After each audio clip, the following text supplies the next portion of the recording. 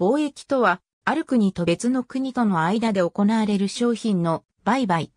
商品を外国に対して送り出す取引を輸出、外国から導入する取引を輸入という。通常は、形のある商品の取引を指すが、サービス貿易や技術貿易のように無形物の取引を含める場合もある。日本語の貿易は外国との取引について用いられる言葉であり、国内で完結する取引には用いられない。このため、外国貿易という表現は、同義語反復であるが、公式文書などでもあえてこの表現が用いられる場合がある。貿易と国内取引の両方を含む日本語としては、取引のほか、交易がある。交易は、第二次大戦中の占領地と本土の間の取引や、江戸時代の藩の間の財の動きなど、貿易とも、国内取引とも言い難いものを表現する場合にも用いられる。英語でトレードという場合は、国内取引と貿易の両方を含むため、特に貿易のことを表現する場合は、エクスターナルトレードをインターナショナルトレードなどとするが、トレード一語でも貿易の意味で用いられることが多い。ワールドトレードオーガニゼーション。米国の場合は、商法が州別にあるため、州際取引と州内取引を区別する実利がある、州内取引。中国語の貿易は日本語と異なり、外国、国内取引双方を含むため、注意が必要である。国内取引と貿易取引には次のような違いがある。企業等の取引主体の貴族文化や使用言語に差異がある。地域により使用通貨や決済方法に違いがある。地域により取引の準拠法や召喚集に違いがある。地域により商品の輸送時間に違いがある。通関が存在する。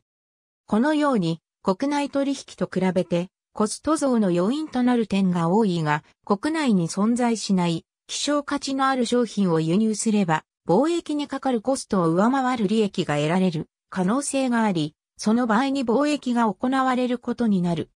直接貿易とは、海外の輸入者、輸出者と直接に貿易をすることを言い、間接貿易とは、商社などの仲介者を経由して貿易を行うことを言う。相手国に物を送り出す貿易形態を輸出貿易、相手国から物が送り込まれてくる貿易形態を輸入貿易という。また、仲介者が契約当事者となって外国相互間で行われる取引を行う貿易形態を仲介貿易または三国間貿易という。なお、A 国からの貨物を C 国に輸入、加工し B 国に再輸出する貿易委託者が外国の業者に原材料の全量、または一部を供給し、製品を委託国、または第三国に送る貿易形態を委託加工貿易という。外国の業者に加工を委託する逆委託加工貿易と自国の業者が加工を受託する準委託加工貿易がある。委託者から販売委託を受けた受託者が商品を輸入して販売し、売り上げた代金を送金するとともに、売れ残った商品を委託者、または委託者の指示したものに積み戻して販売手数料を受け取る貿易形態。国際貿易の理論は、デビット・リカードが、主張、政治経済学と課税の原理第7章に提示した数値例から始まる。リカードは、貿易が比較優位により起こるもので、絶対優位の差によるものでないことを明らかにした。これにより、国際貿易状況が国内理論とは異なる論理に基づくものであることが明らかになった。以後、19世紀には古典派貿易理論、20世紀にはヘクシャー・オリーンの理論、21世紀には新進貿易理論など多くの理論と研究が生まれている。例えば小麦があまり取れないので小麦の価格が高い国 A が小麦が多く取れるので小麦の価格が安い国 B から小麦を輸入する場合を考える。A 国では輸入により小麦が以前よりも多く出回ることになるので、小麦の価格は下がる。一方 B 国では、輸出により小麦の量が減るので、小麦の価格は上がる。しかし、A 国での小麦の価格と B 国での小麦の価格が逆転することはない。B 国の方が小麦が安いからこそ輸出で利益を得られるのであるから、価格が逆転する前に輸出が止まるためである。なお自由貿易で、かつ関税や輸出入のコストが無視できるほど小さければ、輸出入により、両国での小麦の価格が一致する。貿易はそれに関わった双方の国に利益をもたらすことが知られている。貿易の利益には様々なタイプがある。以下はその一例である。これを再び小麦を例にして説明する。簡単なため、両国では同じ通貨を使っているものとして話を進めるが、別の通貨を使っていたとしても結論は同じである。輸入により A 国では小麦の価格が下がる。仮に1袋あたり100円価格が下がったとする。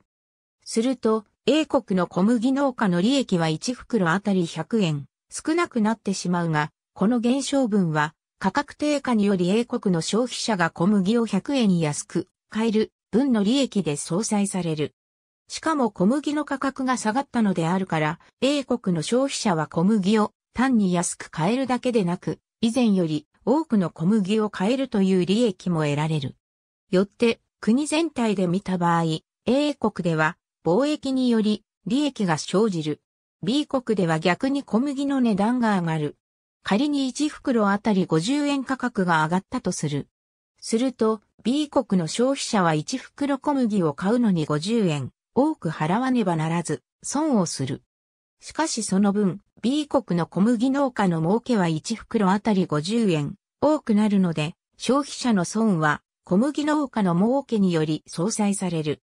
また値段が上がったせいで、B 国内で小麦が売れる量が減少してしまうが、余った小麦は、より売れ行きが良い、A 国で売ることができる。しかも前述のように、A 国の方が、小麦の値段は B 国のそれを下回らない。よって、小麦農家の利益は、貿易により増加する。したがって、国全体で見た場合、B 国でも貿易により、利益が生じている。以上のように、国全体で見た場合、貿易に関わった A 国、B 国の双方に利益が出る。しかし国内での利益には偏りが生じる。A 国では小麦農家は損しているが、消費者はそれを上回る得をしている。一方逆に B 国では消費者は損をしているが、小麦農家はそれを上回る得をしている。自由貿易は利益を偏在化させ、比較列位の産業など一部の人々の損失となるため、時として反発を招く。このため一部産業における輸入を規制し、国内産業を保護しようとする政策が存在する。保護貿易の手段としては、関税の付加や輸入数量規制などが用いられる。世界の主要国も自由貿易を標榜しているものの、国内の有力産業、衰退産業を保護する政治的な目的で何らかの規制を行っている。貿易は外貨の獲得を通じて直接に国府の増大につながると同時に安価な輸入品の流入による物価の抑制、食料やエネルギー等必需品の安定的確保などの観点から各国政府が国の政策として促進を行っている。貿易促進のあり方は国によって異なる。具体的には以下のような施策が行われる。輸出品に対して直接に補助金を付与することは WTO ルールで禁止されている。近年のアメリカ、イギリス、日本では国民産出量のそれぞれ10%、26%、12%が輸出されている。このため、貿易を完全に遮断してしまうことは、破滅的な結末をもたらしかねない。例えば大恐慌の後、各国は自国の産業を守るためにブロック経済へと移行したが、これは貿易による利益を捨てることを意味し、かえって経済を悪化させて第二次世界大戦の永遠となった。この経験から GATT-WTO は自由貿易を活動の理念としている。相互主義に基づき、互恵的な関係を結んだ国家間において貿易を行う政策がある。近代以前の贈与貿易や管理貿易には紛争を防止し友好関係を結ぶという政治的な目的も含まれる場合があった。各国の産業、生産者、消費者をめぐって様々な論争が行われており、特に自由貿易と保護貿易の主張は対照的となる。自由貿易側の主張については以下を参照。保護貿易側の主張については以下を参照。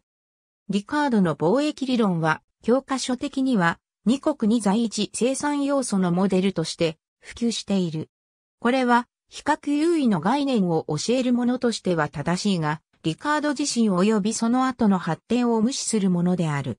特に、リカード理論が、労働のみを投入する一生産要素モデルで、あるという理解は、間違いである。リカードが考えていたのは、財の生産に財が投入される、循環構造である。マッケンジーは、原材料や機械が投入される経済でも、直接間接の労働投入量を単位あたりの投入係数と考えれば、リカード理論が拡張できることを示した。リカード理論は、1950年代から60年代初めにかけてマッケンジーとジョーンズにより多数国多数在の場合に拡張された。この場合、多数とは3国あるいは3在以上を言う。2国多数在あるいは2在多数国の場合は、2国に在の分析が容易に拡張できるが、3国3在以上では本質的に異なる分析方法が必要とされるためである。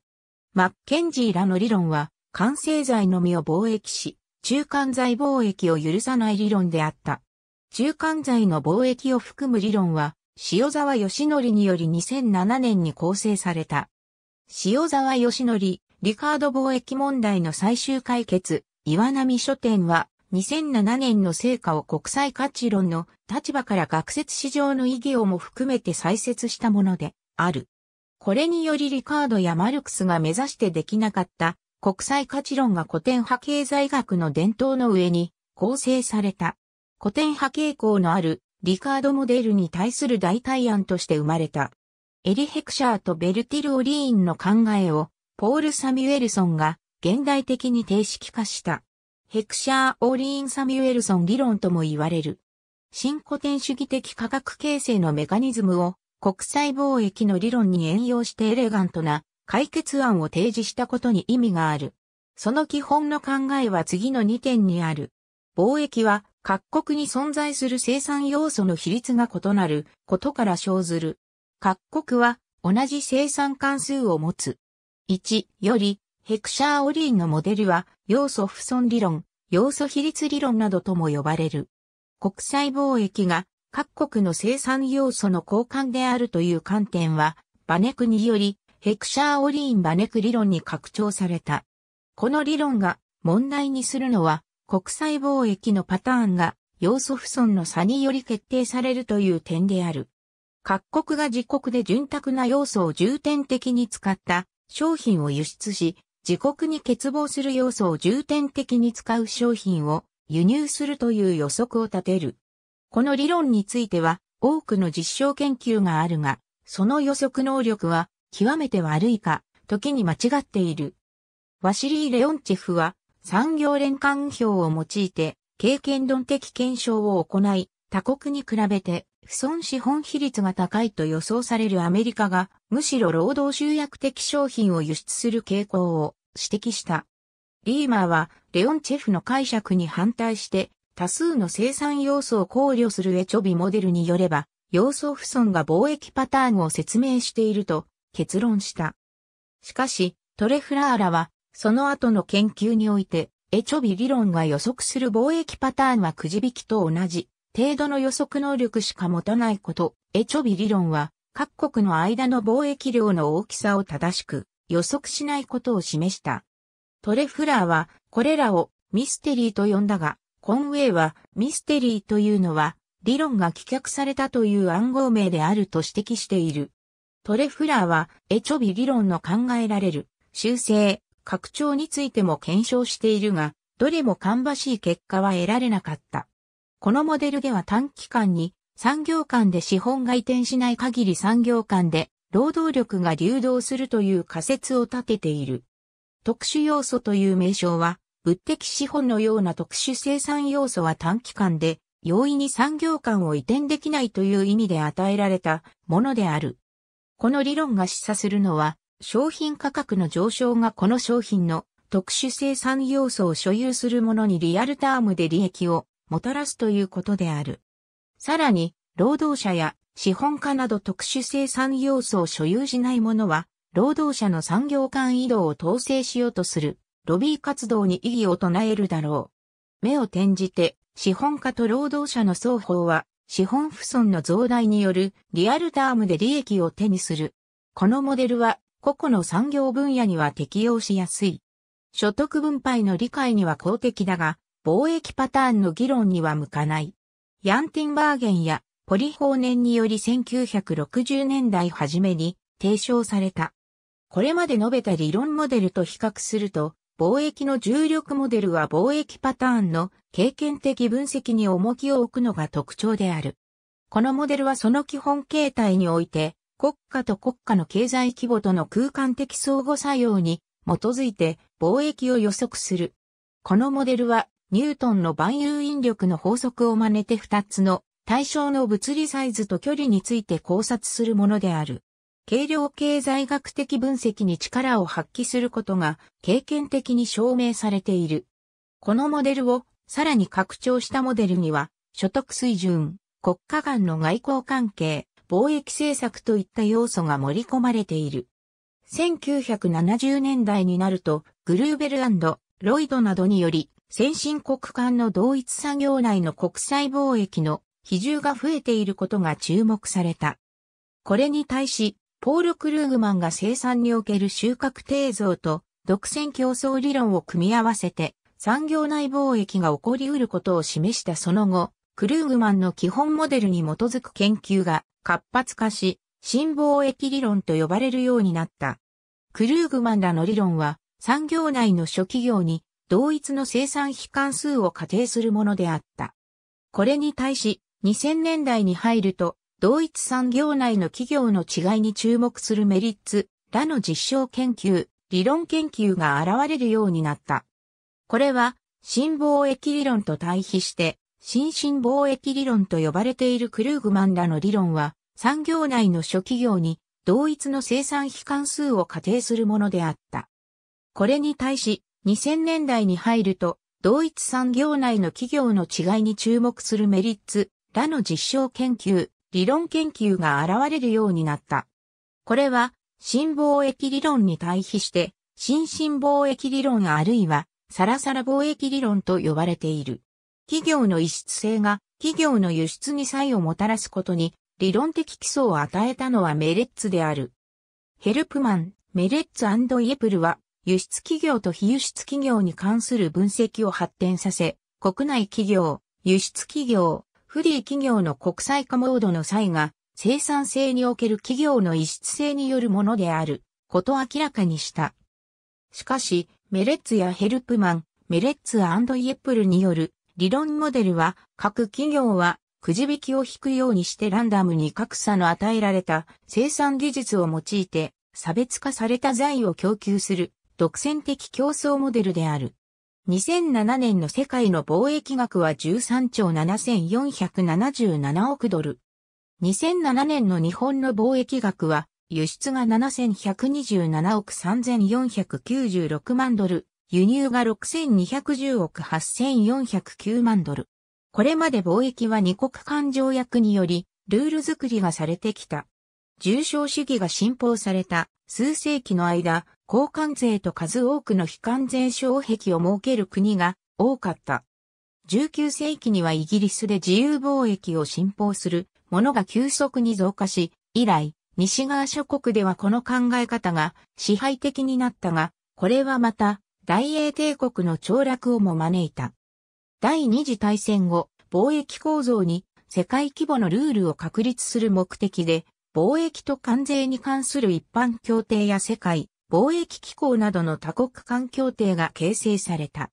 この貿易協定がもたらすのは、当事者に不利益を与える不公正貿易であるという不満も一部で高まり、たびたび抗議運動が起きた。